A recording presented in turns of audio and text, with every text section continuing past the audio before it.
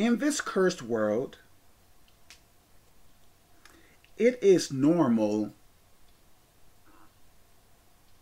for you to get into conflict with other people. Wait a minute. According to the rules and regulations of God, of the Bible, it is a sin to argue, fuss, and fight with people. But being in this cursed world, it is normal to get into conflict with others. We have to understand that there are people in depression. We have to understand that there are people with mental illnesses. There are people that have been hurt so badly in their past. Let's say that you go somewhere and you see this hurt animal. Either this animal got shot or it got cut by something, but it is injured in a very bad way. Let's say that, hey, you want to come by it and help that hurt animal out. You are no threat to it, but you want to you want to help that animal out. Okay. Because that animal is hurt, that animal in many cases are going to see you as a threat. Please listen. Because that animal is hurt, it is going to see you as a threat. So since it sees you as a threat, that hurt animal, yes, is going to be in attack mode. Even when you are only trying to help it. When you deal with some people on this earth, even when you are trying to help that person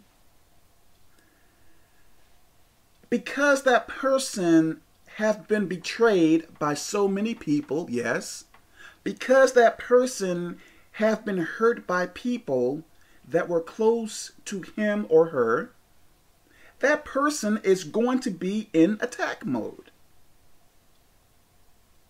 That person is going to see you as a threat even when you come with open arms, with open hands, trying to love, trying to help that person out.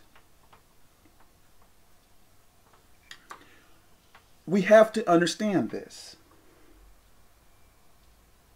So if one person is in attack mode, the second person can't be in attack mode.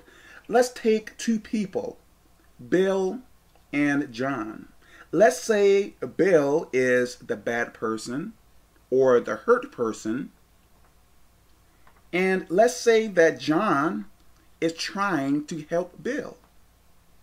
So here goes Bill and here goes John. Okay. Now, if Bill is in attack mode, that means that John have to be the person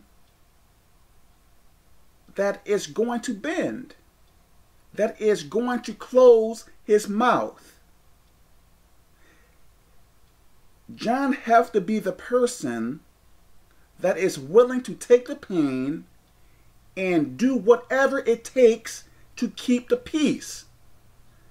John can't go head to head with Bill because if that happens, it is not going to work right. So John have to be the bigger person and accept what Bill is throwing at him to keep the peace. But John have to be willing to try to help Bill no matter what happens. No matter what happens. What if John tries to go head to head with Bill? There is going to be chaos. There is going to be much fighting. Well, John is saying, well, I am just being nice to Bill, and he is treating me so wrongly, so I want him to stop treating me wrongly, so I am going to fight back and show him, hey, you have to respect me as a person. So, in order to get respect from Bill, John has to fight back with that person. So many people believe that.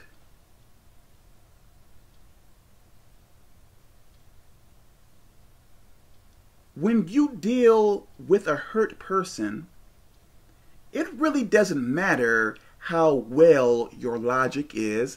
It doesn't matter if you are right in what you are saying, hey, you are dealing with a hurt person. So no matter what you say, no matter what you do, hey, in the hurt person's eyes, you are a threat. Since you know that person is hurt or acting in a way which may not make any sense, you have to learn how to bow down. You have to learn how to submit. Well, if I bow down, Kevin, that is going to show me as a weak person. No, it's not. No, it is not. It is going to show that you are a wise person. Listen, let's go to Romans chapter 12, verse 19. To the left is the King James Version, to the right is the Expanded Bible. This is the reason why I encourage people to read the Bible. You have to stop thinking earthly and think spiritually. If you continue to act and take the logic of this world, you are going to suffer much more. This is why we have to transition our thinking and follow the ways of God. Okay. Dearly beloved, avenge not yourselves, but rather give place unto wrath. For it is written, Vengeance is mine, I will repay, saith the Lord. So no matter what that hurt person is doing to you, let me highlight this.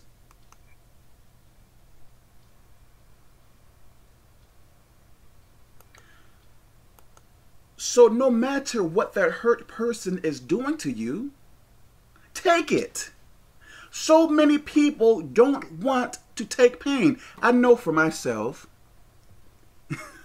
I don't like pain. I really don't. I really dislike it so much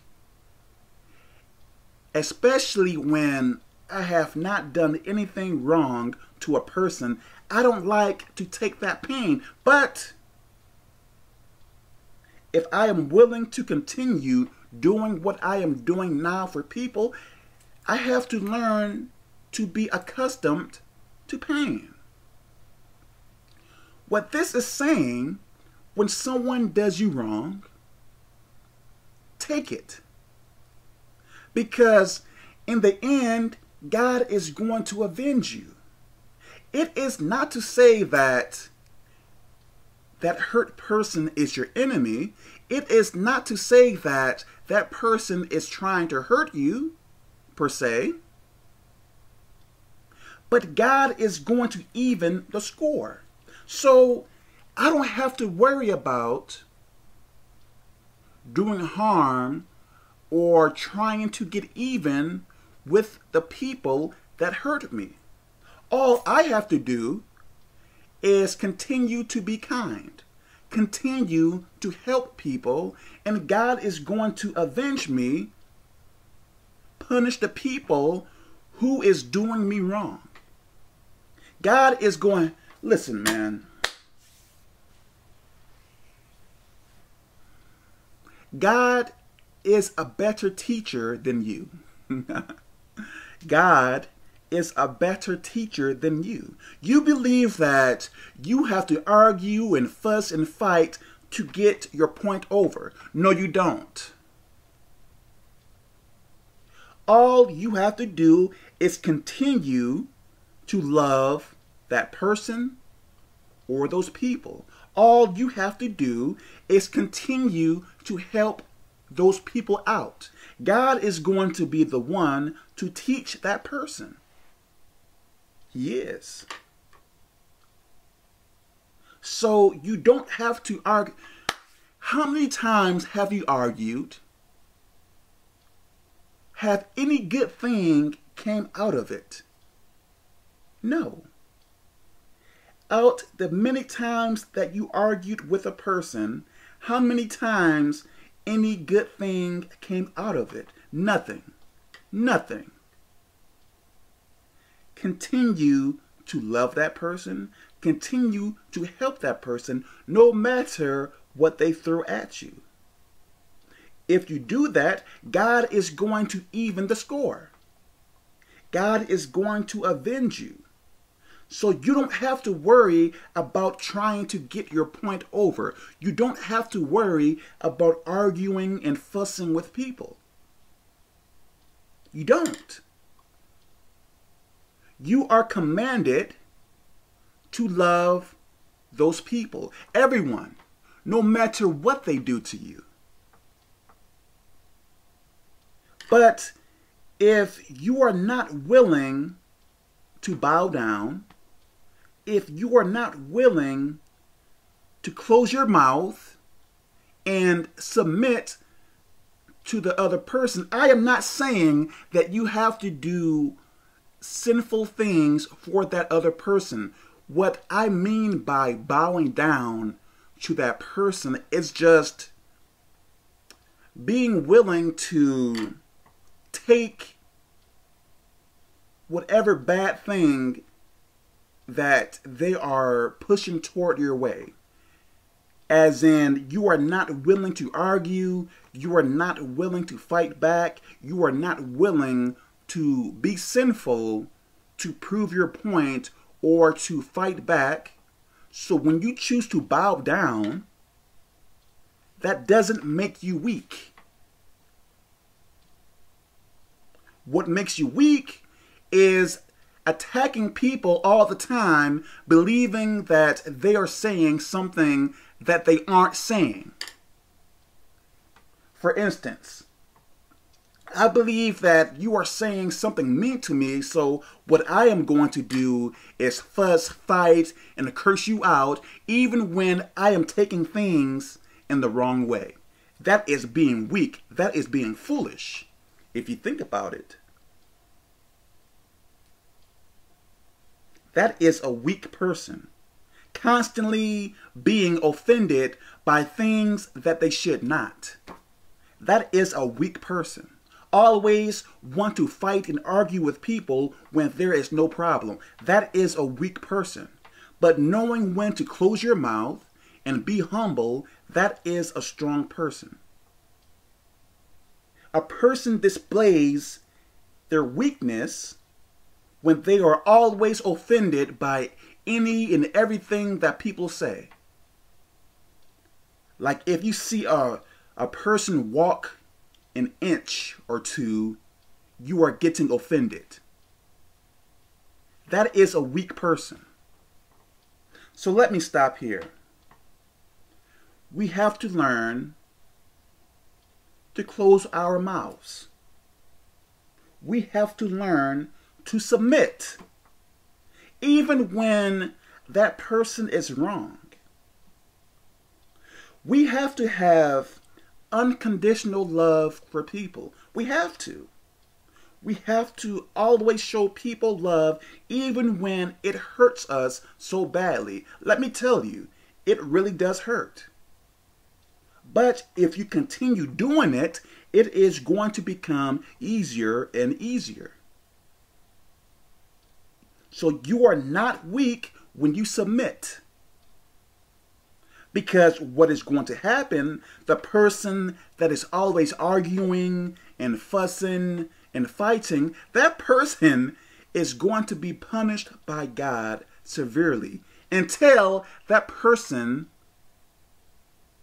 gets humbled. A person that is always fighting and fussing is not humble. So God is going to bring so much mess into that person's life until they are humbled. So the more they fight, hey, the more curses that are going to come upon their lives. So you don't have to worry about anything. Just continue praying for that person or for those people. Let me stop here. God bless you.